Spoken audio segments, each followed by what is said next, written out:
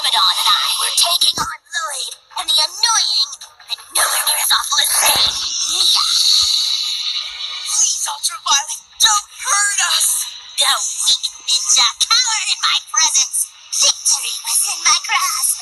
But then...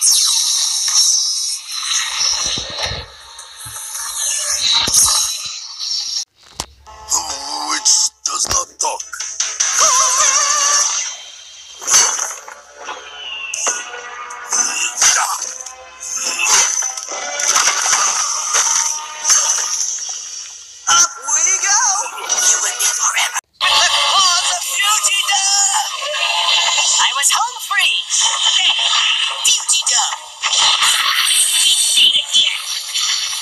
hold on. Stop everything. The blue ninja doesn't ride lightning bolts. Well,